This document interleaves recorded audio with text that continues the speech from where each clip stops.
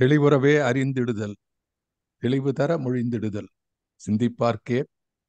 களிவளர உள்ளத்தில் ஆனந்த கனவு பல காட்டல் கண்ணீர் துளிவர உள்ளுருக்குதல் இங்கிவையெல்லாம் நீயருளும் தொழில்களன்றோ. ஒளிவளரும் தமிழ்வாணி. அடியநேர்க்கு இவை அனைத்தும் உதவுவாயே. பேரன்பு மிக்க பாரதி அன்பர்களே. குவிகம் இலக்கிய அமைப்பு தொடர்ந்து நடத்தி வருகின்ற மகாகவியின் மந்திர சொற்கள் என்ற இந்த தொடரிலே நூற்றி முப்பத்தி ஆறாவது தொடராக இது மலர்கிறது. நூற்றி முப்பத்தி ஆறாவது தொடர் என்றால் இது நூற்றி முப்பத்தி ஆறாவது வாரம். ஒவ்வொரு புதன்கிழமையும் இது இடையறாது சென்று கொண்டிருக்கிறது இறைவன் சித்தம். இந்த நிகழ்ச்சியை இங்கே இந்த ஜூம் அரங்கில் என்னோடு இணைந்து கேட்டுக்கொண்டிருக்கக்கூடிய அத்துணை நண்பர்களுக்கும் நேரலையிலே யூடியூபிலே காணக்கூடிய நண்பர்களுக்கும் பின்னாலே பதிவிலே காண இருக்கக்கூடிய பாரதி அன்பர்கள் ஆகிய அத்துணை பேருக்கும் என்னுடைய நன்றி கலந்த வணக்கங்களை முதலில் தெரிவித்துக் கொள்கிறேன். பாரதியினுடைய எத்தனையோ பாடல்கள் குறிப்பாக போன முறை நான் சொன்ன ஒரு கருத்து பாரதி இருநூத்தி நாற்பத்தி ஏழு பாடல்கள் எழுதியிருக்கிறார். கவிதைகள் அவ்வளவுதான். அதாவது கவிதைன்னா பாஞ்சாலி சபத்துனா ஒண்ணுன்னு கவுண்ட் பண்ணும். பாஞ்சாலி சபத்துல பக்கம் பக்கமா போறது. இது வேற. அது மாதிரி அப்படி இல்லை. தலைப்புன்னு பார்த்தா ஒரு கவிதை தலைப்பு என்று எடுத்துக்கொண்டால் குயில் பாட்டு அது மாதிரி.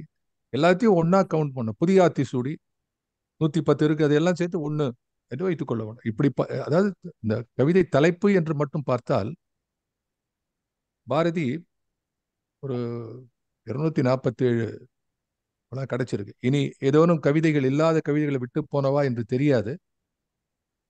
அதுல பாரதியினுடைய படைப்புகளை முதலிலே காலவாரியாக கால அமைதிப்படி பதிப்பித்த தஞ்சாவூர் தமிழ் பல்கலைக்கழகம் அதில் பின்னாடி ஒரு இணைப்பை சேர்த்திருக்கிறார்கள். பாரதி எந்தெந்த யாப்பிலே அவர்கள் பாடியிருக்கிறார்கள் என்பதையெல்லாம் பின்னாலே தொகுத்து கொடுத்துறார் இந்த பாடல் இந்த யாப்பில் இருக்கிறது என்று. அதை பற்றி நான் போன முறை சொல்லிக் கொண்டிருந்த போது அதிலே ஒரு நூத்தி பதினாறு சிந்து சிந்து பாடல்களாக அமைந்தது பாரதி. அப்போ அடிப்படையிலே பாரதி எந்த யாப்பு தமிழ் வடிவத்திலும் மரபு மரபு சார்ந்த வடிவங்கள் மரபை மீறிய வடிவங்களும் பாரதி எழுதியிருக்கிறார். அதை நான் சொல்லிருக்கேன் உங்களுக்கு.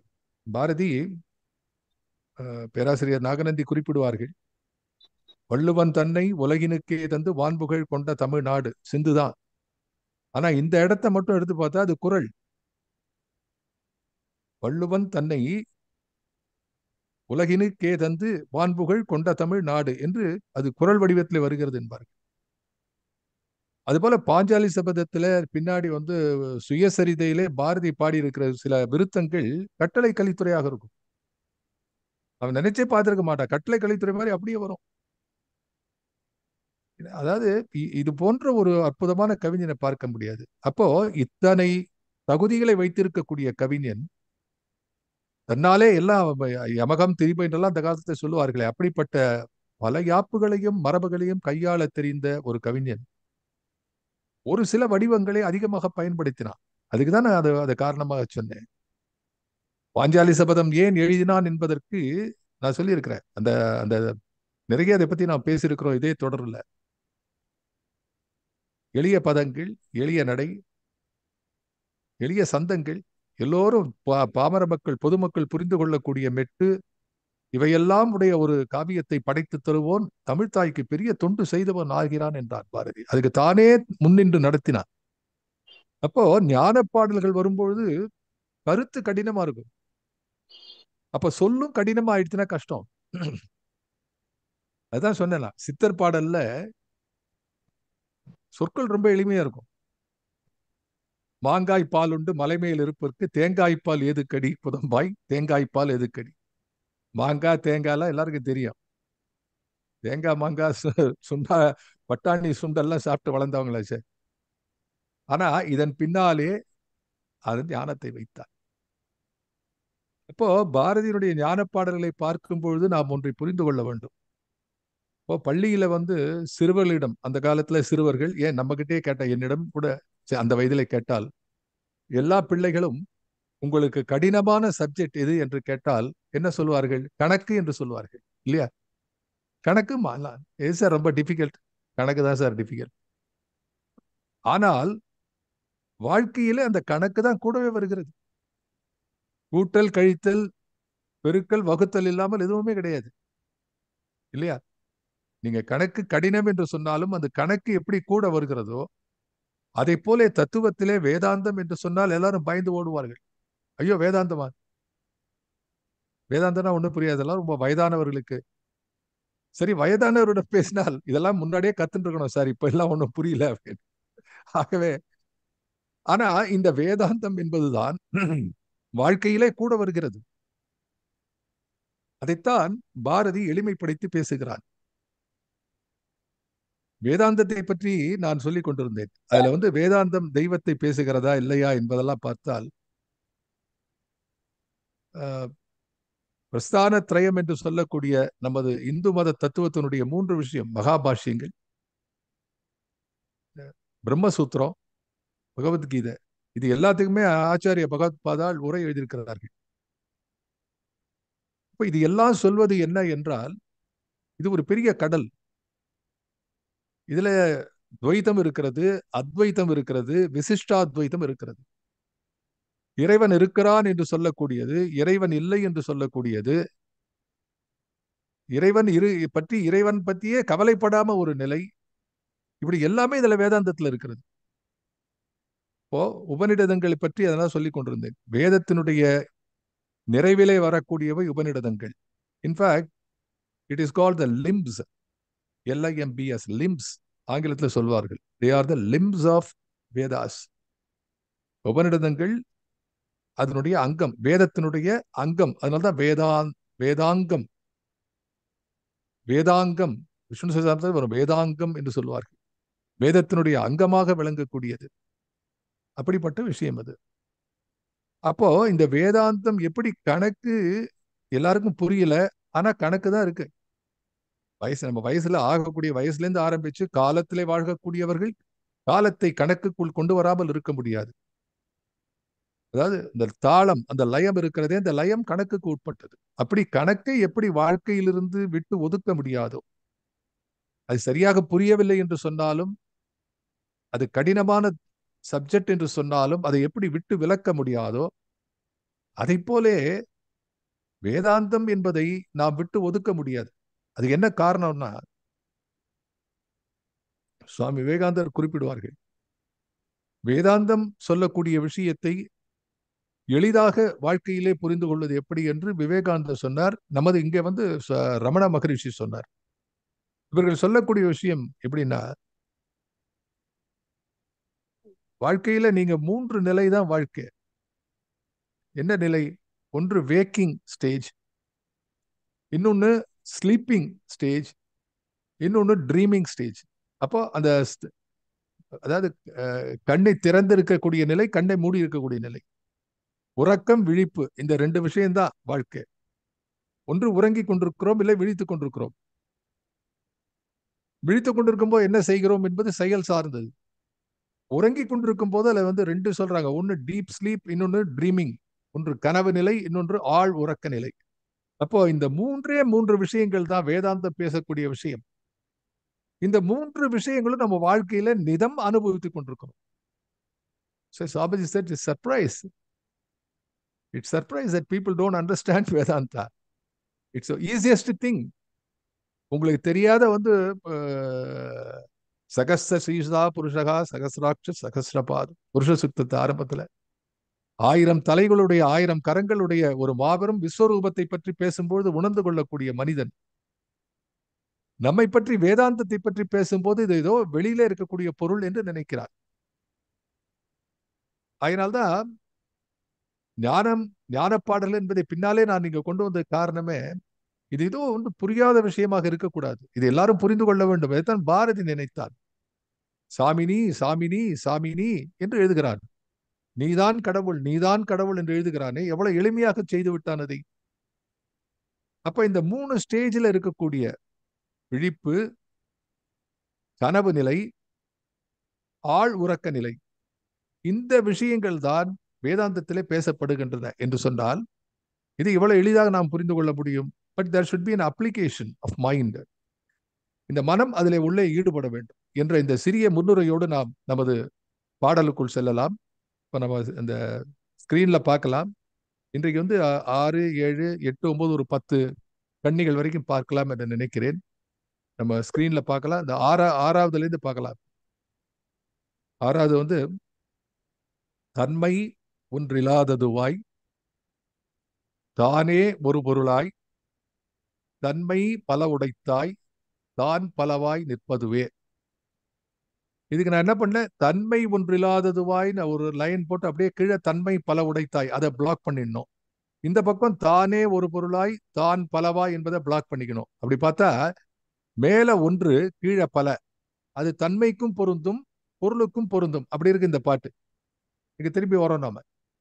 எங்கும் உளான் யாவும் வலான் யாவும் அறிவானவே தங்கு பல மதத்தோர் சாற்றுவதும் இங்கிதையே. அடுத்து எட்டாவது. வேண்டுவோர் வேட்கையாய் வேட்பாராய் வேட்பார்க்கு ஈண்டு பொருளாய் அதனை ஈட்டுவதாய் நிற்கும் இதே. அடுத்து ஒன்பதாவது. காண்பார்தங் காட்சியாய் காண்பாராய் காண் பொருளாய் மாண்பார்ந்திருக்கும் வகுத்துரைக்க ஒண்ணாதே. மாண்பார்ந்திருக்கும் கமா அங்க. வகுத்துரைக்க ஒண்ணாதே. அடுத்து பத்தாவது. எல்லாம் தானாகி இருந்திடினும் இஃதரிய வல்லார் சிலரென்பர் வாய்மையெல்லாம் கண்டவரே. ஆக இந்த பாடல்களை நம்ம மறுபடி பார்க்கலாம். தன்மை ஒன்றில்லாததுவாய் தானே ஒரு பொருளாய் தன்மை பலவுடைத்தாய் தான் பலவாய் நிற்பதுவே என்ற இதை பத்தி நான் போன முறையே ஆரம்பித்து பேசிக் கொண்டிருந்தேன் அதிலே ஒரு சில எண்ணங்களை மீண்டும் பகிர்ந்து கொண்டு மேலே செல்லலாம். தன்மை ஒன்றில்லாததுவாய் என்பது கீழே தன்மை பல உடைத்தாய் மேல தானே ஒரு பொருளாய் தான் பலவாய். இப்ப இதுல இருக்கக்கூடிய முக்கியமான சொல் தன்மை என்பதும் பொருள் என்பதும். இந்த ரெண்டுத்துக்கும் அக அஹ் இந்த ரெண்டுத்துக்கும் விளக்கம் தேட வேண்டும் என்றால் குரலுக்கு செல்ல வேண்டும் திருக்குறளுக்கு. உங்களுக்கு எல்லாருக்கும் ஞாபகம் இருக்குன்னு நினைக்கிறேன். யோசிச்சு பார்க்கலாம். இந்த தன்மை என்ற சொல்லும் பொருள் என்ற சொல்லும் குரலிலே எங்கே வருகிறது என்று பார்த்தால் ரெண்டு குறள் ஒரே மாதிரி இருக்கும். அப்பொருள் மெய்ப்பொருள் காண்பதறிவு என்று முடியும். ரெண்டு குறள் ஒரே மாதிரி முடியும். ஒரு குறள் மெய் உணர்தல் என்ற அதிகாரத்தில் இருக்கிறது. இன்னொரு குறள் அறிவுடைமை என்ற அதிகாரத்தில் இருக்கும். இந்த அறிவுடைமை அதிகாரத்தில் இருக்கக்கூடிய குறள் எப்பொருள் யார் யார் வாய் கேட்பினும் அப்பொருள் மெய்ப்பொருள் காண்பதறிவு. நினைவு வந்துடுதா உங்களுக்கு குறள் இதுக்கு அடுத்தது துறவர இயலிலே இந்த மெய்யுணர்தர் என்ற அதிகாரத்திலே திருக்குறள் பேசுகிறது எப்பொருள் எத்தன்மை தாயினும் அப்பொருள் மெய்ப்பொருள் காண்பதறிவு. இந்த கடைசியில இருக்கிறது. திருக்குறள் முனுசாமி என்று நான் கூறியிருக்கிறேன். திருக்குறள் முனுசாமி மிகப்பெரிய பேச்சாளர் நகைச்சுவையாக பேசுவார் திருக்குறள் பற்றி அவர் சொல்வது உண்டு. என்ன சார் இது ஒரே மாதிரி இருக்க முடியாது பொருள் மெய்ப்பொருள் காணும் ரெண்டும் ஒரே மாதிரி இருக்க ஒரே குரலா இருக்கேன். அவர் சொல்லுவார் சாவி இருக்க இந்த சாவி அதனுடைய பிடி ஒரே மாதிரி இருக்கும். பல சாவிகளுக்கு பிடி ஒரே மாதிரி இருக்கும். ஆனா அந்த முனையில என்ன இருக்கிறது? அதை வச்சு தான் பூட்டை திறக்க முடியும். நல்ல உதாரணம் அது. அது மாதிரி ஒரே ஒரே பிடி அப்பொருள் மெய்ப்பொருள் காண்பது முன்னாடி எப்பொருள் யார் யார் வாய் கேட்பினும் இன்னொன்று எப்பொருள் எத்தன்மை தாயினும். இது தன்மை ஒன்று அப்போ வேதாந்த கருத்துக்கள் இந்த நாட்டிலே எப்படி ஊடாடி நிற்கின்றன என்பதை நாம் பார்க்க வேண்டும். வேதாந்தம் என்பது வாழ்க்கையிலே நம்மை விட்டு இந்து மத பண்பாட்டிலே இந்து மத வாழ்க்கை நெறியிலே சனாதன தர்மத்திலே வேதங்கள் பேசக்கூடியது. அப்படி சொல்வதை விட இந்த வாழ்க்கை நெறியதுதான் வேதங்கள் பேசுகின்றன. இது வந்து எது முதல்ல வந்து எது பின்னாடி வந்ததுங்கிறது கிடையாது. இப்போ வந்து அந்த காலத்தை ஒன்று சொல்வார்கள். ஒரு ஆங்கில I think therefore I exist கேட்டுக்கலாம் நீங்க I think therefore I exist இப்படி சொல்வது தவறு என்று சொல்வார் சுவாமிஜி. அவர் சொல்லுவார் I exist therefore I think I exist therefore I think it is not I think therefore I exist சில பேர் அப்படி கொண்டு வரலாம். நான் நான் இருப்பதாக நினைக்கிறேன்கிறான். அப்படி இல்லப்பா. வேதாந்த பேச நீ இருக்கிறாய் என்பதை நீ திங்க் நீ நினைக்கிற. இந்த செட்டிலிட்டி தான் ரமண மகரிஷியை என்ன செய்வ என்ன செய்ய வைத்தது என்றால் நான் யார் என்ற ஒரு கேள்வியை கேட்க வைத்தது. ஒரு மாபெரும் தத்துவத்தை வேதாந்தமாகிய மாபெரும் அத்வைத குறிப்பாக அத்வைத வேதாந்தமாக மாபெரும் தத்துவத்தை ரெண்டே ரெண்டு சொல்லிலே அடக்கி ஆண்ட ஒரு மாபெரும் மகான் பகவான் ரமண மகரிஷி அவர்கள். நான் யார்? என்ற கேள்வி அவ்வளவுதான். அப்போ நான் போன முறை பேசும்போது சொன்னேன் இந்த தன்மை பொருள் ரெண்டுத்தையும் பார்க்கும் பொழுது இப்போ குரல் என்ன சொல்கிறது? எத்தன்மை ஒரு பொருள். எப்பொருள் எத்தன்மை தாயினும் அப்பொருள் மெய்ப்பொருள். அப்போ அதுல ஒரு விஷயம் இருக்கு. எப்பொருள் எத்தன்மை தாயினும் என்றால் அங்க அங்க வந்து புளூராலிட்டி இருக்கு. இங்க என்ன வருது இதுல? தன்மை ஒன்றில்லாதவாய் தன்மை பலவுடைத்தாய் இப்ப குரல் பேசுகிறது. எப்பொருள் எத்தன்மை தாயினும் அப்படி சொல்லும் போது பலவிதமான தன்மைகள் கொண்டதை அது ஒத்துக்கொள்கிறது. அப்பொருள் மெய்ப்பொருள் என்று வரும்போது அங்கே ஒருமை வந்து விடுகிறது. அப்போ அந்த ரெண்டு குரலுக்கும் உள்ள ஒற்றுமை வேற்றுமை என்ன என்று சொன்னால் சொல் மாறுபடுகிறது. அந்த சொல் என்ன? ஒன்றிலே தன்மை இருக்கிறது ஒன்றிலே பொருள் இருக்கிறது. அப்போ குரல் முதல் முதல் பகுதி குரல் ரெண்டுத்திலையும் எப்பொருள் யார் யார் வாய் கேட்பினும் எப்பொருள் எத்தன்மை தாயினும் இரண்டும் பல பலவிதமாக இருப்பதை குறிக்கிறது. இட்ஸ் பின்னால் இருக்கக்கூடிய பகுதி ரெண்டு குரலிலும் அப்பொருள் மெய்ப்பொருள் காண்பதறிவு என்று சொல்லும் பொழுது அது ஒருமையை குறிக்கிறது. அப்போ அந்த ஒரே குரலிலே பன்மையும் இருக்கிறது ஒருமையும் இருக்கிறது. இந்த பாடல்ல அதை பார்க்கலாம் நீங்க. இப்போ எப்பொருள் யார் யார் வாய் கேட்பினும் என்று வரும்பொழுது அதுல என்ன அருமையான விளக்கம் சொல்வார்கள். திருக்குறள் பத்தி விளக்கம் சொல்வது என்பது ரொம்ப மகிழ்ச்சியான ஒரு விஷயம். இதையும் நான் பேராசிரியர் நாகநந்தியிடம் கற்று தெளிந்தேன் என்று சொல்வதிலே எந்த விதமான ஒரு இது ஒரு பெருமை அவரோட அவரோட அமர்ந்து இதை பேசியிருக்கிறோம் என்று அவர் சொல்லுவார். எப்பொருள் யார் யார் வாய் கேட்பினும். அப்படின்னா என்ன அர்த்தம்னா எல்லாரும் பேசுவான். விஷயம் தெரிஞ்சவனும் பேசுவான் தெரியாதவனும் பேசுவான். குழப்பவாதியும் பேசுவான் குழப்பம் இல்லாதவனும் பேசுவான். நல்ல சொற்களை பயன்படுத்தியும் பேசுவான் அல்லவற்றையும் பேசவான். அப்படி பேசுபவன் இது இவனுக்கு தான் பேச்சுரிமை. அதான் சொல்றோம் இல்லையா கருத்துரிமை பேச்சுரிமை எல்லாருக்கும் இருக்குங்கிற மாதிரி. வாய் பேசுவது என்று எல்லாரும் பேசிக்கொண்டிருக்கிறார்கள். அதான் எழுதுற குரல்ல யார் யார் வாய் கேட்பினும். அந்த யார் யாருங்கிறது வந்து ரொம்ப அருமையான சொல்றாரு எப்பொருள்? எல்லோர் வாய் கேட்பினும் அப்படி இல்லை. யார் யார் வாய் கேட்பினும்? இந்த கோடி வத்த அந்த கோடி வத்த தெரிஞ்சவன் தெரியாதவன். ஒத்துக்கிறவன் ஒத்துக்காதவன். நம்புகிறவன் நம்பாதவன். அந்த இருமையிலே நின்று பேசுகிறவனுடைய மெய்ப்பொருள் பார்த்தால் அது ஒருமையிலே கொண்டு விடும். அதுதான் மெய் உணர்தல் என்ற அதிகாரணத்திலே எத்த இப்பொருள் எத்தன்மை தாயினும் அப்பொருள் மெய்ப்பொருள் என்று சொன்னான். அறிவுடைமை அதிகாரத்திலே எப்பொருள் யார் யார் வாய் கேட்பனும் அப்பொருள் மெய்ப்பொருள் காண்பதறிவு என்று சொன்னார். ஆக இதுல நாம பார்க்கக்கூடிய இந்த அற்புதமான செய்தியை நாம் பகிர்ந்து கொள்ள வேண்டும். இதை தாண்டி இன்னொரு செய்தி சொல்ல வேண்டும் என்றால் இப்போ போன முறை சொன்னேன் அப்ரஹாமிக் ரிலிஜன் என்று சொன்னால் கடவுள் இருக்கிறாரா இல்லையா என்ற பிரச்சனை வருகிறது. ஒரு பக்கம் கடவுள் கடவுளை நம்பக்கூடியவர்கள் இன்னொரு பக்கம் அறிவை நம்பக்கூடியவர்கள். இப்போ கடவுளை those are believing in God அவர்கள் என்ன செய்தார்கள்?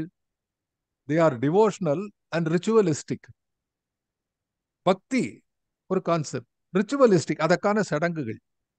இந்த பக்கம் அறிவே துணை என்று நின்றவர்கள் என்ன செய்தார்கள்? புத்த மதம் சமண மதம் இது போன்ற சாக்கிய மதம் அது மாதிரி நியாயவாதங்கள். இது போல இருக்கக்கூடிய பல பதிமூன்று இது போன்ற மதங்களை சங்கரர் குறிப்பிடுகின்றார். அப்ப இவெல்லாம் என்ன செய்தார்கள் என்று சொன்னால் அறிவை நம்புவர்கள் என்ன செய்தார்கள்? மொனாஸ்டிக் அண்ட் தியானம் இந்த வழி என்ன? மொனாஸ்டிக் துறவு நிலை. சமண சமண துறவு மாதிரி ஒரு வந்து ஒரு கடுமையான துறவு எங்கேயுமே இருக்க முடியாது. எல்லாவற்றையும் விட்டு வைப்பார்கள் அவர்கள் தானே தானே உயிர் துறக்கிறது. இந்த வடக்கிருத்தல் என்று சொல்வது வந்து சமண மதத்திலிருந்து வந்தது. அப்படி எல்லாவற்றையும் துறப்பார்கள். அப்படி அவர்கள் ஒரு பக்கம் மொனாஸ்டிக் அண்ட் தியானம் மெடிடேஷன் அண்ட் ரெனன்சியேஷன் அது அறிவு சைடு. இந்த பக்கம் பார்த்தீங்கன்னா டிவோஷனல் அண்ட் ரிச்சுவலிஸ்டிக் அங்க வரும்போது பக்தி கோவில்கள் பக்தி பனுவல்கள் பக்தி இலக்கியங்கள் இப்படி போறது. அந்த பக்கம் பார்த்தா யோகா அஹ், நியமங்கள் அதுக்கப்புறம் அதுக்கப்புறம் தியானங்கள் யோக சூத்திரங்கள் மொனாஸ்டிக் லைஃப் துறவு வாழ்க்கை இப்படி அந்த பக்கம் போறது.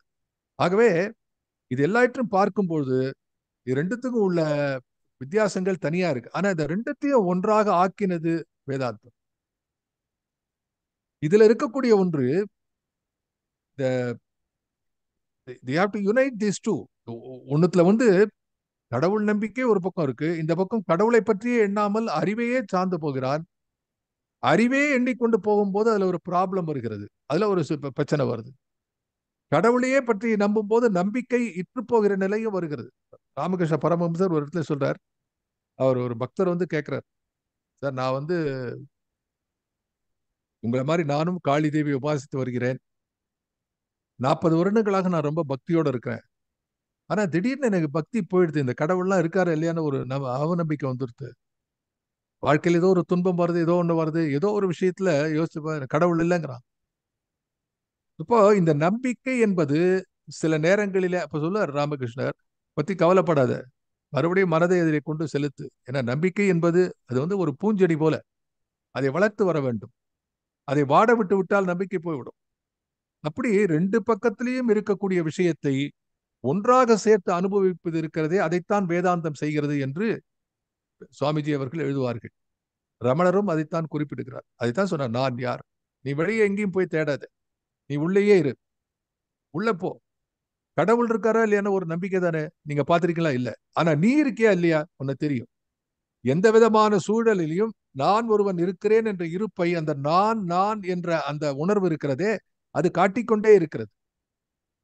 வெரி சிம்பிள் நம்ம இருக்கோம். இருக்கு. ஏதோ ஒண்ணு இருக்கு உள்ள. இது வந்து யாருமே சஸ்ப இது இது நம்பிக்கையின் அடிப்படையில் உணர்வின் அடிப்படையில் இருக்கிறது. ஏ இதை பிடித்து கொண்டு செல்கின்றார்கள் இதைத்தான் பாரதி எழுதுகிறான் உள்ளும் புறமுமாய் உள்ளதெல்லாம் தானாகும். வெள்ளம் ஒன்றுண்டாம். அதனை தெய்வம் என்பார் வேதியரே. இதைத்தான் நம்ம சொல்லி கொண்டு வருகிறோம். ஆகவே இந்த ஆறாவது பாடல்ல பார்க்கக்கூடியது தன்மை ஒன்றில்லாததுவாய் தானே ஒரு பொருளாய். தன்மை பல உடைத்தாய் தான் பலவாய் நிற்பதுவே. ஆக இந்த பாடலுக்கு விளக்கத்தை நான் சொல்லும்பொழுது பாரதியினுடைய பாஞ்சாலி சபத அந்த பிரம்ம துதி மனம் நாடறிதாய் புந்தி தேடறிதாய். என்று அந்த சொன்னேன் அந்த பாடல் உங்களுக்கு ஒன்று சொன்னேன். அதே போல இரண்டு திருக்குறள் குறிப்புகளை கொடுத்தேன். ஆகவே இதை மறுபடியும் மனதிலே எண்ணி பார்த்து அந்த பா அந்த கண்ணியுடைய விளக்கத்தை நீங்கள் பெற வேண்டும் என்று கேட்டுக்கொண்டு இப்போ அடுத்ததாக நாம வந்து ஏழாவது போலாம். ஏழாவது கண்ணி நாம பார்க்கிறோம். எங்கும் உளான் யாவும் வலான் யாவும் அறிவான் எனவே தங்கு பல மதத்தோர் சாற்றுவதும் இங்கிதையே. இப்போ வேதாந்தம் கடவுள் இந்த விஷயங்களை பேசும்போது அது கடவுள் இருப்பதையும் பேசுகிறது கடவுளற்ற ஒரு நிலையும் பேசுகிறது ஆன்மாவை பற்றி பேசுகிறது. கடைசியில இதுவும் அதுவும் ஒன்று என்ற ஒருமையிலை கொண்டு முடிக்கிறது. அப்ப பாரதி இந்த பரசை வெள்ளத்திலே இந்த உள்ளும் புறமுமாய் உள்ளது நாம் தானாகும் வெள்ளம் ஒன்றுண்டாம் அது வரைக்கும் அது அருவம். அது பறந்து கிடக்கிறது. இது இந்த ஆன்மாவினுடைய விஸ்தீரணம். அண்டமெல்லாம் இருக்கு அண்டத்திலும் பிண்டத்திலும் இருக்கக்கூடிய ஒற்றை செய்தி அது. அண்டத்திலும் அன்றி பிண்டத்திலும் அனைத்திலும் விளங்கிடும் பரம்பொருளே என்பது பாடல். அப்ப அண்டத்திலே இருக்கக்கூடியது பிண்டத்திலே இருக்கிறது என்று சொல்லுகிறார்களே. அதை சொன்ன பாரதி அதே வரியில தெய்வம் என்பார் வேதியரே. அப்ப அந்த தெய்வ கான்செப்ட் இங்க இருக்கிறது. இந்த பரசைவ வெள்ளத்திலே அந்த தெய்வ கான்செப்ட் இங்க எங்க கொண்டு வரான்னா எங்குமுளான் அப்படின்னா ஆம்னி பிரசன்ட் இது எல்லா மதமும் சொல்கிறது. கடவுளை அதாவது அப்ரஹாமிக் ரிலிஜன் அந்த ஒரு இந்து இந்து தத்துவம். இந்த தெய்வம் உண்டென்று நம்பக்கூடிய அத்தனை மதங்களும். யாரை கடவுளாக எண்ணுகிறது என்று யாரை இறைவனாக யாரை ஆண்டவனாக யாரை தலைவனாக யாரை ஒரு பரம்பொருளாக வைத்து பார்க்கிறது என்று சொன்னால் அவருக்கு ஒரு மூன்று குவாலிட்டிஸ் இருக்கணும். எங்கும் உளான் ஆம்னி பிரசன்ட் யாவும் வலான் ஆம்னி பொட்டன்ட் யாவும் அறிவான். ஆம்னிசன்ஸ் அப்போ பைபிள் பேசுகிறது. கிறித்துவ மதம் பேசுகிறது. யூத மதம் பேசுகிறது. இஸ்லாமிய மதம் பேசுகிறது. எங்க எல்லா சக்தியும் உண்டு. நம்ம என்ன சொல்றோம் அது? சர்வ வியாபி சர்வசக்தன். சர்வஜன் என்று இதை இதை இதை குறிப்பிடுகிறோம். அப்போ இந்த இறைவனாக நாம வழிபடக்கூடிய இறைவனாக நாம் எண்ணி பார்க்கக்கூடிய இந்த பொருளுக்கு பாரதி எழுதுகிறான் எங்குமுளான் யாவும் வலான் யாவும் அறிவான். யாவும் அறிவான் எனவே வரும்? அது யா எப்படி பிரிக்கணும்? யாவும் அறிவான் எனவே. எங்கு முலான் எங்கும் உளான் யாவும் வலான் யாவும் அறிவான் எனவே தங்கு பல மதத்தோர் சாற்றுவதும் இங்கிதையே. அப்போ யாரு இந்த இந்த மதங்களிலே இருக்கக்கூடிய இந்த கடவுள் என்ற ஒரு பெரிய தத்துவத்தை யாருக்கு யார் சர்வ வியாபியாக இருக்கிறார்களோ யார் சர்வ சக்தனாக இருக்கிறார்களோ யார் சர்வஜாக இருக்கிறார்களோ அவர்களை எது பேசுகிறதோ அப்படி பேசப்படக்கூடிய பொருள் பரசிவ வெள்ளம். இந்த உள்ளம் புறமுமாய் இருக்கின்ற வெள்ளத்தை தான் இவர்கள் இப்படி விவரிக்கிறார்கள் என்பதை பாரதி இங்கே சொல்கிறார். அப்போ நம்ம ஊர்ல பார்க்கும்போது எங்கும் உளான் என்று சொன்னால் என்ன பொருள்? நமக்கு என்ன உடனே என்ன கதை ஞாபகம் வரும்? பாரதியினுடைய வரிகளில் சொல்ல வேண்டும் என்றால் சொல்லடா ஹரி என்றான். ஹரி எங்கே? என்று கேட்டான். என்று அந்த இரண்ய கசிப்பினுடைய வரலாற்றை பாரதி எழுதுகிறான் எங்கு முலான் என்பதற்கு நம்ம நாட்டில் இருக்கக்கூடிய ஒரு தத்துவத்தை சொன்னால் கம்பன் பேசுகிறான் இந்த தூணில் இருக்கிறானா? துரும்பில் இருக்கிறானா? தூணிலும் உளன் இதனை சதகூறிட்ட அணுவை சதகூறிட்ட கோணிலும் புலன் என்று கம்பன் பேசுகிறான் இறைவனுடைய தத்துவத்தை. நம்ம நாட்டில் இருக்கக்கூடிய புராணத்திலிருந்து எடுத்து பார்த்தால் எங்கும் உலான் என்பதற்கு யாரையா கேட்டா என்ன சொல்லுவாங்க சார்? நரசிம்ம அவதாரம் அதுல வந்து உபன்யாச கர்த்தாக்கள் இதை விவரித்து பேசும்பொழுது ரொம்ப அருமையாக விவரிப்பார்கள். நான் ரசித்த இடங்கள் உண்டு. பிரகலாதன் என்ன செய்கிறான்? இறைவனிடம் வேண்டுகிறான் தந்தையிடம் சொல்கிறான் நாராயணன் எங்கும் இருப்பான்? தூணில் இருப்பானா? துரும்பியில் இருப்பானா? எல்லா இடத்துலயும் இருக்கான். சொன்ன போது இறைவன் பார்த்தானா ஐயோ போய் இருக்கணும் எல்லா இடத்துலயும். அது மட்டும் இல்ல பிரகலாதன் என்ன என்ன பிரகடனம் செய்கிறான்? எப்படி ஒருவேளை பெருமாள் எங்காவது இல்லாமல் வராமல் இருந்து விட்டால் நான் என்னுடைய உயிரை துறந்து விடுவேன் என்று சொல்கிறார் எனவே பெருமாள் தேடி தேடி பார்த்தானா எந்த இடத்துல எங்கேயாவது இல்லாத போயிட்டு அந்த இடத்த போய் இரண்ய கசிப்பு தொட்டு அங்க நாம இல்லாத போயிட்டானா நமது அன்புக்குரிய பிரகலாதன் மடிந்து போய் விடானே என்று அது கதையில சொல்லுவார்கள். எனவே இறைவன் தேடி தேடி எல்லா இடத்துலயும் போய் அமர்ந்து கொண்டானா? அவன் இங்க இருக்கானா? அங்க இருக்கா? பாடி இது விளையாட்டாக சொல்லுவார்கள் புராணத்திலே. ஆனா இறைவன் எங்கும் இருக்கிறான் என்பதற்கான ஒரு மாபெரும் புராணமாக வரலாற்றாக வரலாறு அந்த அவதார பெருமையை சொல்லக்கூடிய விஷயமாக அந்த எங்குமுளான் என்று சொல்லிருக்கிறது. இதற்கான பல அகச்சான்றுகள் இருக்கின்றன. தேவாரம் பூரா இதை பாடுகிறது. வைணவ பிரபந்தங்கள் இதை பாடுகின்றன. அது மாதிரி யாவும் பலான் யாவும் பலான் ஆம்னி பொட்டன்ட் எல்லாவற்றையும் செய்யக்கூடியவன் என்று சொன்னால் என்ன என்ன புராணம் நினைவுக்கு வரக்கூடிய புராணம்? நீல நிறத்து நெடுந்தகை வந்தாங்கோர் ஆலமர் வித்தின் அருங்குரல் ஆனான் என்று கம்பன் பேசுவான். என்ன அதிகாரம் வாமன அவதாரத்தை பத்தி பேசுகிறார் வாமனன் மூன்றடி தான் இருக்கிறான். அவனே இத்தனை அடி? உள்ளன் அவன் மூன்றடி கேட்கிறான். ஆணவத்தினாலே மகாபலி என்ன செய்கிறான்? நீ கேட்டா எதை வேணா கடை கொடு எதை வேணா கேடு. மூணு அடி வேணுங்கிறான் கொடுக்குறேன்ட்டான். அசுர குருவான சுக்கராச்சாரியார் தடுக்கிறார். பா வந்திருக்கிறான் சாதாரண ஆள் இல்ல. அவனிடம் ஏமாந்து விடாதே. அவன் விஸ்வரூபி. அவன் இங்கே வாமனனாக வந்திருக்கிறான். வேண்டாம் என்று தடுக்கிறார். அவன் தத்தம் செய்கிறான். அதாவது அந்த காலத்துல எப்படின்னா ஒரு வழக்கம். ஒரு விஷயம் சொன்னா அப்படி தண்ணி. தண்ணீரை தண்ணீரை சாட்சியாக்கி கொடுக்க வேண்டும். அதுதான் வந்து அர்க்கியம் கொடுப்பது என்பது. அப்போ அந்த ஜலத்தை கீழே விடும்போது அந்த கமண்டலத்துக்குள்ள போய் அந்த அந்த முனையில வந்து சுக்கராச்சாரியர் உட்காந்துக்கிறார தடுக்கிறார் தன்னுடைய சீடனை. ஐயோ கட்டுப்பட போறான் ஏமாந்து போயிட போறான்னு புராணங்கள் எல்லா விஷயங்கள் எப்படி சொல்றா பாரு. அப்போ ஒரு குச்சியாலே குத்தி அதை நீக்குகிறான்னு சுக்கராச்சாரியர் கண்ணு கண்ணுக்கு போயிடுது. இதெல்லாம் கதைகள். ஆனா இதை தாண்டி என்ன விஷயம் அப்படின்னா ஆணவத்திலே உயர்ந்து நிற்கக்கூடிய மகாபலி அப்படி தத்தம் செய்து கொடுக்கிறான் மூன்றாவது அடியிலே ஒன்றை இங்கும் ஒன்றை மேலும் மூன்றாவது அடிக்கு இடமில்லாதல். அதை மகாபலியினுடைய தலையிலும் வைத்தார். நீல நிறத்து நெடுந்தகை வந்தாங்கோர். ஆலமர் வித்தின் அருங்குரல் ஆனான் என்று எப்படி கம்பன் பாடுகிறானோ யாவும் பலான் என்று சொல்லி அடுத்ததாக யாவும் அறிவான் எனவே என்பதற்கு நமது புராணங்கள் காட்டக்கூடியது கிருஷ்ண பரமாத்மா. கண்ணனை விட போன முறை பேசும்போது கூட சொன்னேன். கண்ணனுக்கும் ராமனுக்கும் ராமனை பற்றி அவர் அதிகம் எழுதவில்லை. ஏன் பாரதி எழுதவில்லை என்று சொன்னால் எழுதியிருக்க எழுதலைன்னு சொன்னா அவருக்கு இயல்பாகவே கண்டன் என்ற concept the concept of Krishna Osho writes Krishna is a concept that has come before is before his time என்று சொல்கிறார். கிருஷ்ணர் என்ற கான்செப்ட் வந்து நம்ம எப்போ படிச்சாலும் அதுக்கு ஃபியூச்சர்ல இருக்கக்கூடிய டைம்ல வச்சு பார்க்கக்கூடிய ஒரு கான்செப்ட் என்று ஓஷோ எழுதுகிறார். கண்ணனால முடியாது எதுவும் கிடையாது. இந்த மூன்றுமே அவன் சர்வஜனாக இருந்தான் சர்வ வியாபியாக இருந்தான் சர்வ சக்தனாக இருந்தான் என்பதை அந்த பாகவத கதைகளும் மகாபாரதமும் சுட்டி காட்டுகின்றன. ஆகவே நம்ம நாட்டில் பார்க்கும்போது நம்ம நாட்டு இந்திய தத்துவங்களை எப்படி புராணங்களிலே பொதிந்து வைத்திருக்கிறார்கள் பொக்கிஷங்களாக என்று நாம் பார்க்கிறோம். என்ன அருமையாக இருக்கிறது? அதை நாம எண்ணி பார்க்க வேண்டும். அதுதான் ரொம்ப முக்கியமான விஷயம். அதுல பாரதி எழுதுகிறான் தங்கு பல மதத்தோர் சாற்றுவதும் இங்கிதையே. அந்த இடத்துல எல்லாத்தையும் கொண்டு வரான். அதாவது வேதாந்த தத்துவத்தை சொல்லும் பொழுது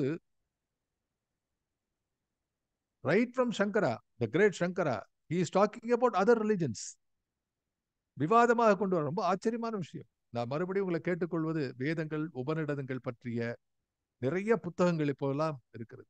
எங்க எஸ்பெஷலி இங்க ராமகிருஷ்ணா மிஷன்ல நிறைய போட்டிருக்கிறாங்க அதை பழசெல்லாம் எடுத்து படிச்சு பார்த்தா அருமையான விஷயங்கள். Entire thing is only as argument கேள்வி பதில்களாக வருகின்றன. யாரும் இதை நிச்சயமாக நீ இப்படித்தான் நம்ப வேண்டும் இருக்க வேண்டும் என்று யாருமே நம்ம மதத்துல சொல்லல. வேதம் அப்படி சொல்றதே இல்லை. வேதாஸ் அண்ட் உபநிடதங்கள் ஒரு விஷயத்தை சொல்லும் பொழுது எல்லாத்தையும் அதுல சங்கரர் பல மதங்களை பற்றி குறிப்பிடுகிறார். அப்போ பாரதி அதே பிரின்சிபல்ல தான் போறான் அந்த அந்த பின்னணி பாரதிக்கு இருக்கிறது. அதை நான் இந்த தங்கு பல மதத்தோர் என்று எழுதக்கூடிய பாரதி பல மதம் கிட்டத்தட்ட பதிமூன்று மதங்களை பற்றி பாரதி பல இடங்களிலே எழுதியிருக்கிறார். அவருடைய சுயசரிதை பாடல்களிலே இதை பார்க்கலாம். கட்டுரைகளிலே பார்க்கலாம். அப்போ தங்கு பல மதத்தோர் என்றால் இந்த உலக வரலாற்றிலே தங்கி அழிந்து போன மதங்கள் இருக்கின்றன. அழியாமல் இன்னும் தொடர்ந்து வரக்கூடிய மதங்கள். சமண மதம் இல்ல. சமண மதம் புத்த மதம் போன்றெல்லாம் அருகி கொண்டு வருகிறது. அது இருக்கிறது. இது போல வளர்ந்த மதங்கள் வந்த மதங்கள் நின்ற மதங்கள் போன மதம் எப்படியோ அதுல தங்கு பல மதங்கள் இங்கே தங்கி இருக்கக்கூடிய பல மதங்கள். காற்றுவதும் இங்கிதையே. தங்களுடைய இறைவனாக கருப்பொருளாக பரம்பொருளாக சாற்றுகின்றது இருக்கிறது. அது யார் என்று கேட்டால் அது பரசிவம். சரி இது ஏழாவது. அடுத்த கண்ணி. வேண்டுவோர் வேட்கையாய் வேட்பாராய் வேட்பாருக்கு ஈண்டு பொருளாய் அதனை ஈட்டுவதாய் நிற்கும் இதே. இது கொஞ்சம் உன்னிப்பா கவனிக்கக்கூடிய ஒரு ஒரு கண்ணி. என்ன சொல்கிறார் இங்க? வேண்டுவோர் வேட்கையாய். விருப்பப்படுபவர்களுடைய ஆசையாக. வேண்டுவோர் வேட்கைனா ஆசை என்று கூட சொல்லக்கூடாது. அது சரியா சொன்னா வேட்கை என்பது ரொம்ப it's it's not not merely passion it is something more than a passion ஆசை பேராசை அந்த வெறி இருக்கிறது. பேராசை என்பதை தாண்டி அந்த வெறி இருக்கிறது வேட்கையாய். அந்த வேட்கை இருக்கிறது தாகம். எப்படி ஒரு தாகம் தாகம் இருந்தால் நீ தண்ணீரை தேடி நீ அலைகிறாயோ அதை போல ஆசைப்பட்டு அலையக்கூடிய விஷயங்கள் வேட்கை என்று வேண்டுவோர் வேட்கையாய். வேட்பாராய். அப்படி யார் ஆசைப்படுகிறானோ அவனாகவும் வேட்பார்க்கு ஈண்டு பொருளாய். அந்த ஆசைப்பட்டவன் என்ன பொருளை அடைய வேண்டும் என்று ஆசைப்பட்டானோ அந்த பொருளாகவும் அதனை ஈட்டுவதாய். What is the process to attain that அதுவாகவும் நிற்கும் இதே. இட்ஸ் இட்ஸ் பியூட்டிஃபுல் திங் கவனமா அதை இதை பார்க்கணும். There are four different aspects are given here இப்போ வேண்டுவோர் வேட்கையா என்று சொன்னால் ஆசைப்படுறான். வேண்டுவோர் ஆசை என்பது என்ன? ஆசை என்பதற்கு உருவம் இருக்கிறதா? ஆசைக்கு உருவம் இல்லை. ஆசைப்படும் பொருளுக்கு உருவம் இருக்கிறது. ஆசைப்படும் உறவுக்கு உருவம் இருக்கலாம். ஆனால் ஆசை என்பதற்கு உருவம் இருக்கிறதோ? இல்ல அருவம். அப்போ ஆசை என்பது என்ன? இட்ஸ் அன் ஆட்டிடியூட் இது மன உணர்வு. வேண்டுவோர் வேட்கையாய். அது ஃபர்ஸ்ட் திங் ஆட்டிடியூட் வேட்பாராய். யார் ஆசைப்படுகிறானோ அவனாக. தட் இஸ் பர்சன் ஒரு பர்சன் இண்டிவிஜுவல் அது ஒரு உயிர் என்று வைத்துக் கொள்ளலாம். ஒரு ஜீவன் ஒரு ஜீவன். அது ஆசைப்படுகிறது. ஆசை ஆட்டிடியூட் ஜீவன் என்பது உயிர். அந்த வேட்பார்க்கு ஈண்டு பொருளாய். அந்த ஆசை எப்போதுமே ஒரு பொருளை அடிப்படையாக கொண்டிருக்கிறது. ஒரு பொருள் அதுக்கு உயிர் உயிருற்ற பொருளோ உயிருள்ள பொருளோ ஏதோ ஒன்று. அருவமா உருவமா தெரியாது. ஏதோ ஒரு பொருளை ஏதோ ஒரு விஷயத்தை இது ஆசைப்படுகிறது. அந்த பொருளாகவும். அதனை ஈட்டுவதாய். அதற்காக நீ போற. அதற்கான ஒரு ஒரு செயலை செய்கிறாய். அது ஆக்ஷன். அப்போ வேண்டுவோர் வேட்கையாய் என்பது ஆட்டிடியூட். வேட்பாராய் என்பது பர்சன். வேட்பார்க்கு ஈண்டு பொருளா என்பது மெட்டீரியல். ஈட்டுவதாய் அதனை ஈட்டுவதாய் நிற்கும் என்பது ஆக்ஷன் செயல். அதுக்காக போற இல்லையா? இப்பதான் ஒரு விஷயம் உனக்கு பிடிக்கும். ஒன்றும் இல்லை காத்து வாங்க காத்து வாங்குறது ரொம்ப ஆசையா இருக்கு சார். பீச்சுக்கு போறேன் கடற்கரைக்கு போறேன். அங்க இல்லை அந்த அந்த போகக்கூடிய அந்த செயல். இப்படி இந்த எல்லாவற்றிலையும் இருப்பது ஒன்றே என்று சொல்கிறார். இதுல நிச்சயமாக புரிஞ்சுக்க வேண்டிய விஷயம். ஏன் இதை இதை இவ்வளவு விரிவாக சொல்கிறார் பாரதி என்று பார்த்தால் இது எபவுட் ஆசை. இப்போ நான் ஒரு பொருளை ஆசைப்படுகிறேன் என்று வரும்பொழுது அது வித்தியாசமாக இருக்கிறது. இல்லையா? ஆன் ஆசைப்படும் பொருளும் நானும் ஒன்றேதான் என்ற நிலை வந்தால் இப்போ வேதாந்தம் இஸ் டாக்கிங் அபவுட் மெடிசன் ஒரு ஒரு மருந்து. ஆசையை எப்படி அதாவது திருமூலம் சொல்கிறது ஆசையை அருமின் ஆசையை அருமின் ஈசனோடாயினும் ஆசையை அருமின். Now you understand the approach of Vedanta now you understand the difference between a didactic literature and வேதாந்தம் அவை பிராட்டி போல நீதி நூல்களை சொன்னவர்கள் என்ன சொன்னார்கள்? ஆசை பக்கம் போகாது ஆசையே அருமின். Didactic again didactic literature like Arunagirinathar பேசுகிற பேராசை எனும் பிணியில் பிணிபட்டு ஓரா வினையேன் உழலத் தகுமோ? கொஞ்சம் கவனமா கேட்க வேண்டிய இடம். ஏன்னா இந்த அப்ரோச் அணுகுமுறை. எப்படிப்பட்ட அருணகிரி? எப்ப அற்புதமான படைப்பு இலக்கிய படைப்பு? அருணகிரியா? பாரதி அவரை பற்றி எழுதுகிறார் நான் சொன்னேன். பாரதி அவரை பற்றி எழுதியிருக்கிறார். அவருடைய கந்தர் அனுபூதியிலே எழுதுகிறார் பேராசை எனும் பிணியில் பிணிபட்டு. பிணியில் பிணிபட்டு. பேராசை என்பது ஒரு நோய். அந்த நோயிலே கட்டுப்பட்டு அந்த நோயினாலே பிணிக்கப்பட்டு. வெளியிலே வர முடியாம எந்த மருந்து சாப்பிட்டு அந்த நோய் தீராமல் நோயினாலே கட்டப்பட்ட உடலாக இருக்கக்கூடிய உன் உடல் இருக்கிறதே அந்த பேராசை எனும் பிணியில் பிணிபட்டு ஓரா வினையே. ஓர்ந்து தெளிதல். திங்கிங் அந்த கெப்பாசிட்டி ஓரா வினையே. தெரியாமல் அத்தனை வினைகளும் செய்து கொண்டிருக்கிறேன் என்று பேசுகிறாரே. அப்ப பேராசை எனும் பிணியில் பட்டு ஓரா வினையேன் உழலத் தகுமோ? This is what is happening அப்ப ஆசை கூடாது என்று சொல்கிறார்கள் ஆனால் வேதாந்தம் என்ன சொல்கிறது? ஆசை என்பது வேற ஒண்ணும் இல்லப்பா. நீ என்ன ஆசைப்படுறியோ அந்த ஆசையும் அந்த ஆசைக்கான ஆட்டிடியூட் ஆசைக்கான பொருள் அது எல்லாம் ஒண்ணுதான். Everything is the same என்று சொன்னால் அப்போ ஆசையை தேடி அலைந்து மனம் வாடக்கூடிய நிலை இருக்க வேண்டிய அவசியமே இல்லையே. எனவே இதை நாம் மறுபடி அந்த அந்த சொல்லப்படுக வேண்டுமோர் வேட்கையாய்.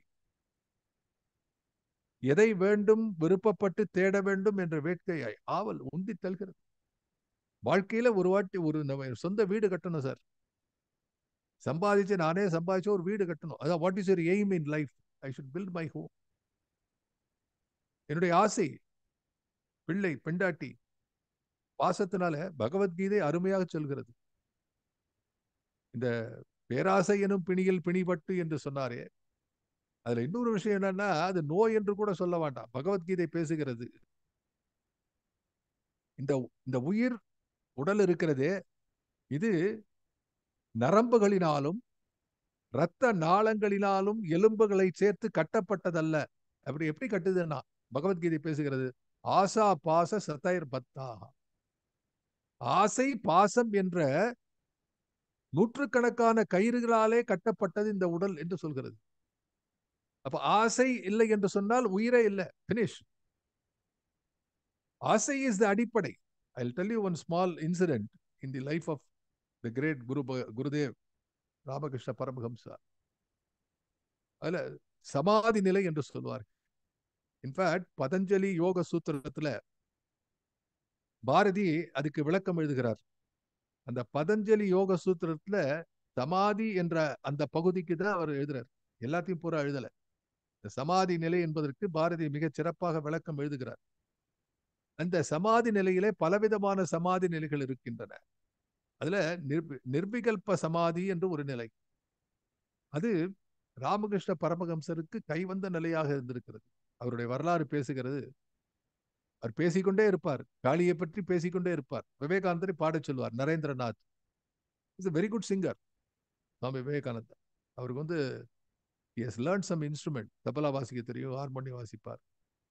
அவர் சின்ன வயசுல சுவாமி விவேகானந்தருக்கு வந்து அவ அப்பா அம்மா வந்து ரெண்டு மியூசிக் இன்ஸ்ட்ருமெ இன்ஸ்ட்ரக்டர்ஸ் அவர்கிட்ட கத்துண்டார் என்று வரலாறு பேசுகிறது. அவன் அருமையா பாடுவார். இப்படி சுவாமிஜியை கொண்டு பாட சொல்லும் போது அதை கேட்டுக்கொண்டிருக்கக்கூடிய ராமகிருஷ்ண பரமஹம்சர் அப்படியே கண்களை மூடி உள்ளே சென்று விடுவார். பரவச நிலை டிரான்ஸ் மூட் என்று சொல்வார்கள் அந்த டிரான்ஸ் மூட்ல உள்ள போயிடுவார் என்று சொல்வார்கள் அப்படி நிர்விகல்ப சமாதியில போகும்போது சுவாமிஜி கேட்கிறார். நரேந்திரநாத் கேட்கிறார் குருவை. எனக்கும் அந்த மாதிரி ஒரு அனுபவத்தை கொடுங்க சொல்றார் உனக்கு அந்த அனுபவத்தை கூட திரும்பி வரமாட்டே நீ. அதுல போனவன் அங்கேயே போயிடுவேன். உங்களாலே எப்படி திரும்பி வரப்போகிறது?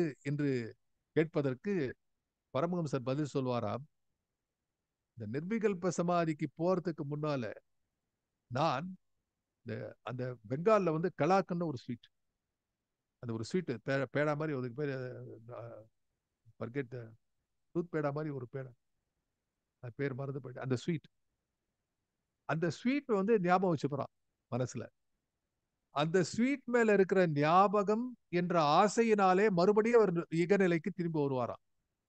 எப்படி வந்து பட்டம் மேலே பறக்கும்போது ஒரு நூல் கீழே கட்டி இழுக்கப்படுகிறதோ அதே போல இந்த ஞானிகள் இந்த மண்ணிலே இருந்து மற்றவர்களுக்கு நன்மை செய்வதற்காக வாழ்ந்த போது ஒரு சின்ன ஆசை என்ற நூலை கட்டி அதை மேலே பறப்பார்கள் கீழே வரக்கூடும் இது அவருடைய வாழ்க்கையிலே சொல்கிறார்.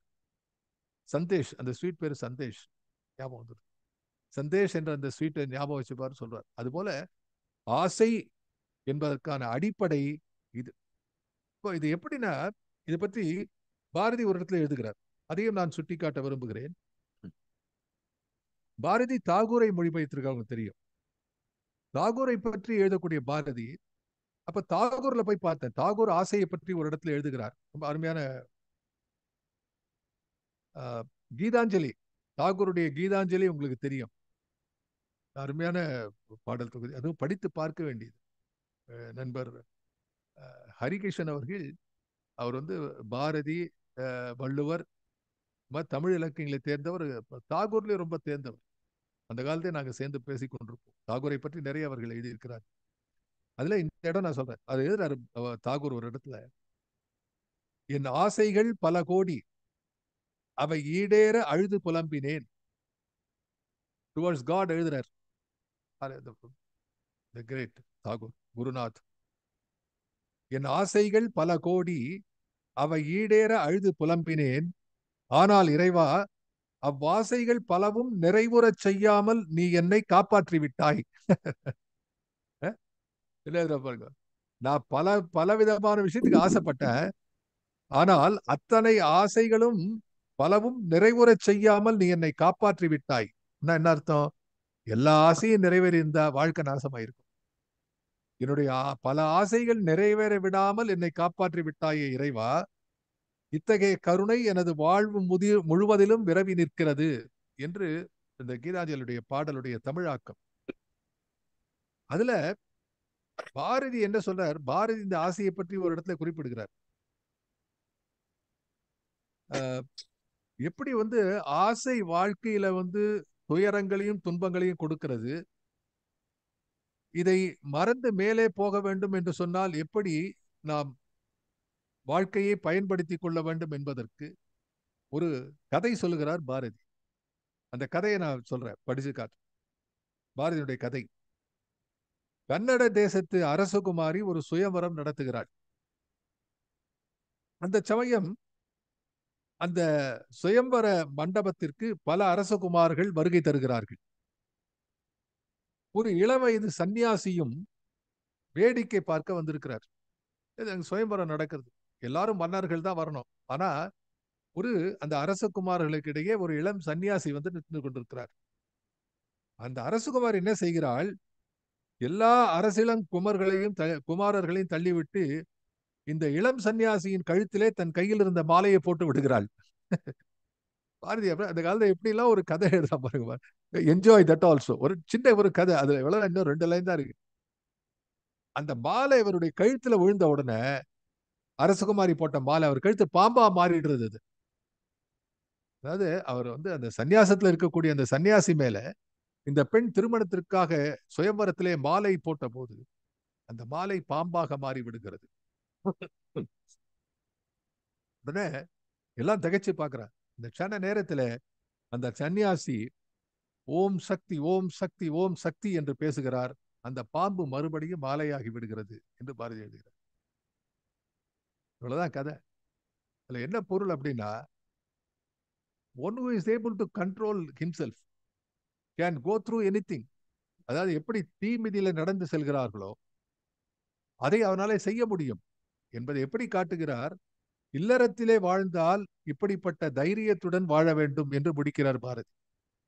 இல்லறத்திலே வாழ வேண்டும் என்று சொன்னால் இப்படிப்பட்ட தைரியத்தோடு நீ வாழ வேண்டும் என்பதை பாரதி குறிப்பாலே சொல்கிறார். ஆகவே இந்த ஆசையை பற்றி பேசும்பொழுது இங்கே இருக்கக்கூடிய செய்திகளை நாம் மறுபடியும் பார்க்கிறோம். வேண்டுமோர் வேட்கையாய் வேட்பாராய் வேட்பாருக்கு ஈண்டு பொருளாய் அதனை ஈட்டுவதாய் நிற்கும் இதே. இப்ப என்ன பொருள்? இப்போ இன்னொரு விஷயம் சொல்றேன். இதை தாண்டி அடுத்த கண்டிக்கு போறதுக்கு முன்னால இன்னொரு ஆஸ்பெக்ட் இதுல மறைஞ்சிருக்கு. என்ன அப்படின்னா வேண்டுவோர் வேட்கையா என்று சொல்லும்போது நான் ஏதோ மனிதரை தான் நினைத்து கொண்டிருக்கிறோம். ஸோ மனுஷன் இப்போ நம்ம பத்தி தான் பேசணும். ஆனா இன்னொரு டைமென்ஷன் என்ன ஆட் பண்ணோம்னா வேண்டுவோர் வேட்கையா என்று சொன்னால் எல்லா உயிர்களும் சொல்கிறார். ஒரு ஆடு புல்லை திங்க போகிறது. ஒரு புலி ஒரு பசுவை தின்ன போகிறது.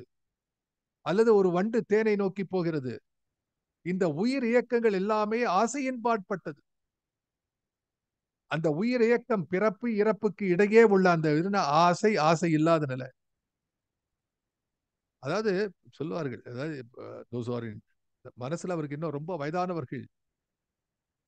தேர் இன் டெத் பெட் சாவு படுக்கையில இருக்கிற இன்னும் உயிர் போகாமல் இருந்தால் சொல்வார்கள். இந்த உயிர் ஆசையினாலே ஒட்டி கொண்டிருக்கிறது. என்று சொல்வார்கள் நம்ம நாட்டில். சாதாரண கிராமத்துல சொல்வார்கள். யாரெல்லாம் வந்து பார்க்கல ஏதோ ஒரு பெண்ணோ பிள்ளையோ ஏதோ பேரனோ பேத்தியோ எல்லாரும் வந்து பார்ப்பார்கள். ஒரு ஊர்ல கிராமத்துல என்ன பழக்கம்னா ஒரு முதியோர் வயது முதிர்ந்த பிறகு தாவு படுக்கையிலே உயிர் போகாமல் ஊசலாடி கொண்டிருந்தால் ஏதோ ஒரு ஆசை அவரை போக விடாமல் தடுத்து கொண்டிருக்கிறது. எல்லாம் வந்து பாருங்க வாயில பால் கொடுங்க. அவர் யாரை பார்க்க வேண்டும் என்று நினைக்கிறாரோ அவர் பாருங்க. இது வந்து நம்ம நாட்டுல இருக்கக்கூடிய பழக்கம் சார். சாதாரண கிராமத்துல அதைத்தான் வேதாந்தம் பேசுது. வேதாந்தம் என்று வந்து ஏதோ ஒண்ணும் இல்லை. அப்படி இருந்தா இந்த மண்ணின் கவிஞனான பாரதி இதை பத்தி எழுத மாட்டான். இந்த மண்ணுக்கே ஒரு மண் வாசனை இல்லாமல் பாரதி எதையுமே எழுதினது கிடையாது. அவனுடைய அத்தானை பாடல்களிலும் இந்த நாட்டினுடைய மண் இந்த இந்திய மண்ணினுடைய வாசனை பொங்கி பொங்கி பொங்கி பொங்கி வருகிறது. பூத்து பூத்து பூத்து பூத்து குலுங்குகிறது. அப்போ வேதாந்தத்தை பற்றி எழுதுகிறானே. இது ஏதோ உயரத்திலே இருந்து கொண்டு லைக் லைக் கிளாஸ் டவர் அங்கே உட்கார்ந்து எழுதுறானா? இல்ல. அப்படி இல்லை என்பதற்கு அடையாளம் அவன் தாயுமானவருடைய பராபர கண்ணியிலிருந்து எழுதுகிறான். இந்த நாட்டில் பட்டினத்தாராகட்டும் தாயுமானவராகட்டும்.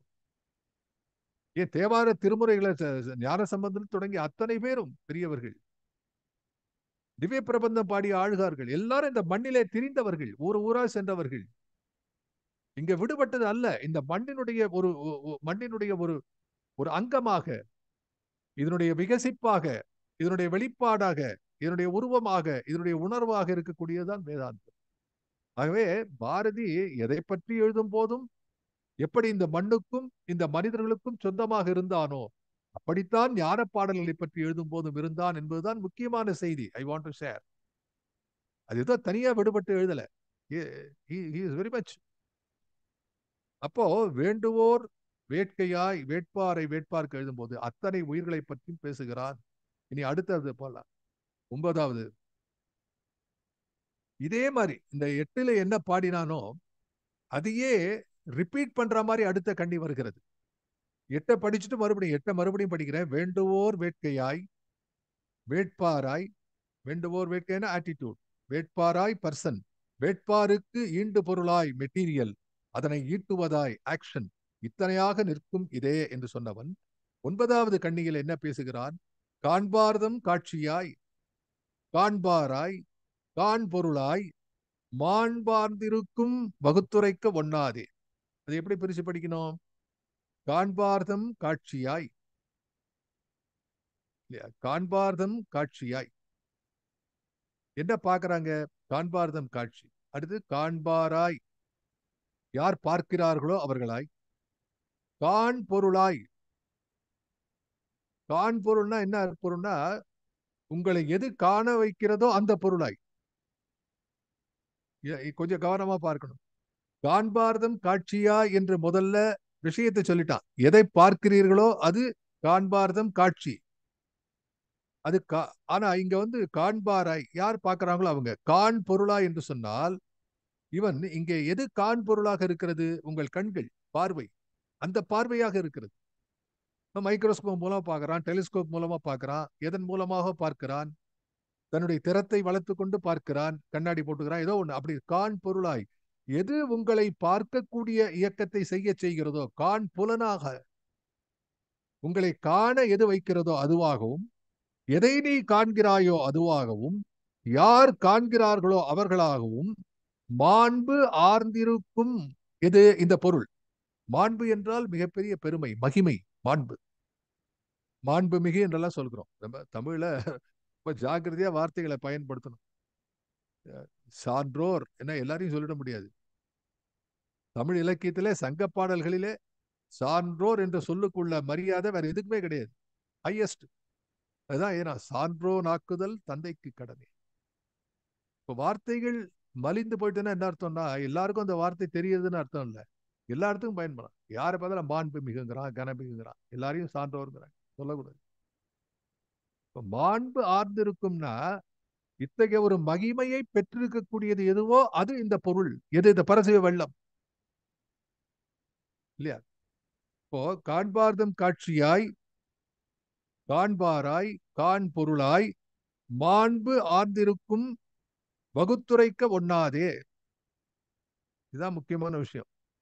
வகுத்துரைக்க ஒண்ணாதே.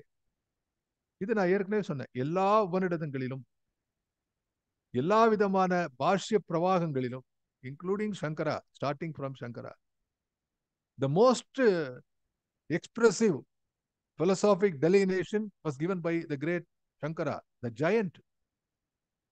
அறிவிலே சிறந்தவர். அவர் எழுதுகிற சங்கரர் எழுதும் போதே சொல்றார் வார்த்தைகளாலே விளக்க முடியாது. இம்பர் வாழ்வின் இறுதி கண்டுண்மையின் ஏற்றம் உரைத்த சங்கரன் மாட்சியும் என்று பாரதி பாடுவார் அப்படி பாடக்கூடிய சங்கரனும் வார்த்தைகளுக்கு வலிமை என்று இல்லை சொல்கிறார்கள். அப்ப இங்க என்ன சொல்றார் இங்க இவர்? காண்பார்தம் காட்சியாய். என்ன காட்சி அது? நேச்சர். அதாவது அடிப்படையாக இது இன்னும் கொஞ்சம் விளக்க வேண்டும். இந்த பாடலை நான் தொடர்ந்து நான் பேச இருக்கிறேன். நான் முதல் வார்த்தைக்கு விளக்கம் சொல்றேன். காண்பார்தம் காட்சியாய். என்ன சார் அர்த்தம் அதுக்கு? எதுக்கு? காட்சின்னு சொல்லாமே. காண்பார்தம் காட்சியாய். ஏன் சொன்னா பாரதி? இதுதான் கவிதை. அழகு கவிதை. Beauty lies in the eyes of the beholder காண்பார்தம் காட்சியாய். எவன் பார்க்கிறானுக்கோ அவனுக்கு தான் இந்த காட்சி தெரியும். அது கல்ல கண்டா நாயக்கான நாயக்காண்டா கல்ல மரத்தை மறைத்தது மாமதையார். மரத்தில் மறைந்தது மாமதையார். பரத்தில் மறைந்தது பார்முதல் பூதம். பரத்தை மறைத்தது பார்முதல் பூதம். திருமூல பேசுகிறது. அப்படி நம்ம எதை பார்க்கிறோமோ அதுதான் பார்க்கணும். சில பேர் போயிட்டே இருப்பான் என்ன நான் என்ன பார்க்கல நீங்க மார்க்கெட்டுக்கு வந்து நான் இருந்தேன் இல்ல சார் நான் வேற ஏதோ யோஜனை போயிட்டு உங்களை பார்க்கல ஒரு இடத்துல நம்ம கண் போகிறது என்று சொன்னால் அந்த கண் எல்லாவற்றையும் பார்க்கிறது என்று பொருள் அல்ல. ரெண்டாவது பார்க்கக்கூடிய பொருளை புரிந்து கொண்டோமா என்றால் அதுவும் இல்லை. இப்ப நம்ம பாக்குறோம் ஒரு இடத்துல பார்த்தா ஒரு பெரிய தோட்டம் இருக்கிறது. இந்த மாமரம் தெரியுது வாழை மரம் தெரியுது நடுவுல வேற ஏதோ தெரியறது அது என்ன உங்களுக்கு தெரியல? அந்த செடி என்ன தெரியல? அது உங்களுக்கு விடுபட்டு போகிறது அறிவிலே. ஆகவே காண்பார் தம் காட்சியா என்று சொன்னால் யார் எதை காண்கிறார்களோ அவருடைய காட்சியாக. அந்த காட்சியினுடைய ஆழமும் அகலமும் எவ்வளவு ஆழம் எவ்வளவு அகலம் உனது அறிவு எத்தகையதோ அதன் ஆழம் அதன் அளவு. ஒரு வாழை மரத்தை பார்த்தனா இல்லைன்னா ஒரு தென்னை மரத்தை பார்த்தனா அந்த தென்னையை பற்றி தெரிந்தவர்கள் அதை பற்றி இன்னும் அதை அந்த பார்க்கும்போது அதை பற்றி அத்தனை பின்புலங்களும் உங்களுக்கு தெரியும். முதல் தடவையா ஒரு குழந்தை பார்க்கறது. பார்த்தா அதுக்கு என்ன தெரியும்? இன்னும் உயரமா ஒரு மரம் இருக்கு. மேல என்ன பெருசா ஒரு காய் தொங்குறது. ஆனால் அதை பற்றி தெரிந்தவர்கள் தென்னை பண்ணை வைத்து நடத்தவர்கள் தென்னை தோட்டம் வைத்து என்ன தென்னை? பதினாறு பட்டையா? இல்ல என்ன என்ன என்ன வகை? என்பார். இந்த மாதிரி பாட்னி படித்தவங்க அதுக்கு வந்து டெக்னிக்கல் டேர்ம் சொல்லுவாங்க. அதை பற்றி உள்ள இருக்கக்கூடிய அனாட்டமி அதனுடைய பிசியாலஜி எல்லாம் சொல்வார்கள். அப்படி காண்பார்தம் காட்சியா என்று சொன்னால் காண்பருடைய தகுதிக்கு ஏற்ப விரியக்கூடிய காட்சியாய் நான் இந்த இடத்துல ஒரு முற்றுப்புள்ளி வைக்கிற நேரமாகிவிட்டது. இந்த காண்பது என்பது வியப்பின் அடிப்படை. இது என்ன வியப்பு என்பதை பற்றி இன்னும் விளக்கமாக அடுத்த வகுப்பிலே நாம் பேச இருக்கிறோம். ஆகவே இன்றைய தினம் ஏழு எட்டு என்று இரண்டு கண்ணிகளை பார்த்தோம். ஒன்பதாவதை ஆரம்பித்து வைத்திருக்கிறோம். அது என்ன? காண்பாரதன் காட்சியாய் காண்பாராய் காண் பொருளாய் மாண்பு ஆர்ந்திருக்கும் அது புல் ஸ்டாப் மாண்பார்ந்து ஆர்ந்திருக்கும் புல் ஸ்டாப் வகுத்துரைக்க ஒண்ணாது இதை பற்றி விரிவாக பேசுவதற்கு முடியாது. இப்ப முடியாது என்பதும் ஒரு பொருள். நம்ம அடுத்த வாரம் பார்க்கலாம். நன்றி வணக்கம்.